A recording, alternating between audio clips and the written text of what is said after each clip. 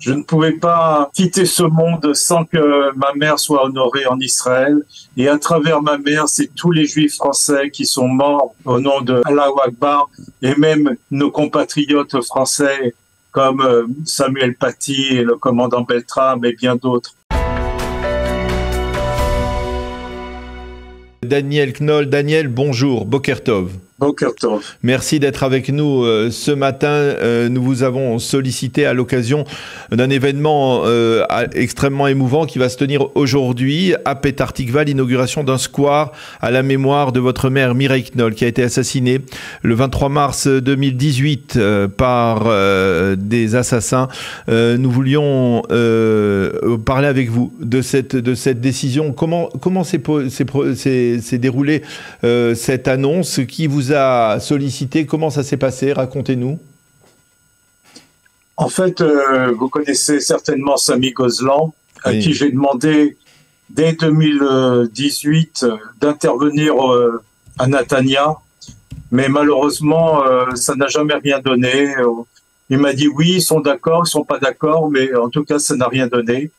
Et il se trouve que grâce à à, notre représentant français, euh, Michael Sherman, qui a un ami euh, qui s'appelle David. Euh, enfin, David qui vit en Israël et qui travaille à Petar Tikva et qui est devenu avocat. Grâce à David Castro, nous avons obtenu de la mairie de Petar Tikva ce que nous rêvions d'obtenir à savoir une place qui porte le nom, un, square plus exactement, qui porte le nom de, votre mère. C'était important pour vous que le nom de votre mère soit perpétué quelque part dans l'État d'Israël de manière, euh, on va dire, plus solennelle, officielle? C'était, c'était une obligation pour moi. Je ne pouvais pas euh, quitter ce monde sans que ma mère soit honorée en Israël. Et à travers ma mère, c'est tous les juifs français qui sont morts au nom de Allah Akbar et même nos compatriotes français comme euh, Samuel Paty et le commandant Beltram et bien d'autres. Qui ont Vous été... savez, qui ont été victimes, on va dire, d'une forme de, terrorisme, hein, comme celui qu'on connaît en Israël, hein, bien entendu.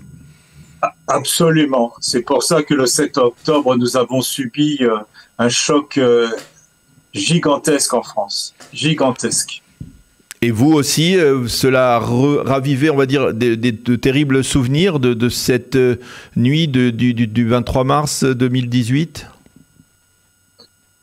J'avais l'impression de revivre ce que ma mère a vécu. Et comme ce que j'ai vécu avec ma mère était insupportable, vous imaginez bien que je, pense que, que, tous les juifs dans leur cœur, leur cœur a saigné, ils ne savaient plus où se mettre. Et donc, c'était très bien.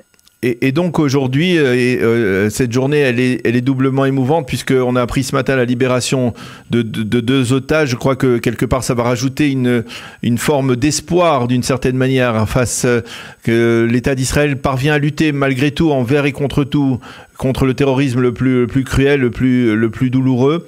Euh, ça va s'inscrire dans, le cadre de ce que votre mère aurait souhaité, hein, parce que elle était proche d'Israël, comme vous, vous l'êtes d'une certaine manière aujourd'hui, vos enfants le sont puisque vos enfants sont, sont en Israël. Oui, absolument. Vous savez, euh, on est tellement, tellement ému la libération de ces deux otages. On est tellement heureux pour eux et on veut que tous y soient libérés et le plus vite possible. Et on doit faire un énorme effort, mais on doit les libérer tous. Alors, je voudrais que vous nous donniez les, éléments pour que nos auditeurs, ceux qui le souhaitent, ceux qui sont peut-être à Pétartikva ou qui sont de passage, puissent participer à cette cérémonie. Euh, où, elle va se tenir exactement? C'est le parc de Pétartikva à 16h30. À 16h30, donc je suppose en présence euh, du maire de du maire de Pétartikva et euh, d'autres autorités, je suppose, qui seront présentes pour rendre hommage donc à votre mère Mireille Knoll et donc euh, installer d'une certaine manière le souvenir de Mireille Knoll euh, en Israël de manière officielle. Merci beaucoup euh, Daniel d'avoir accepté de, répondre à nos questions ce matin et on vous souhaite que cette journée soit une journée bien entendu donc de souvenirs et d'espoir.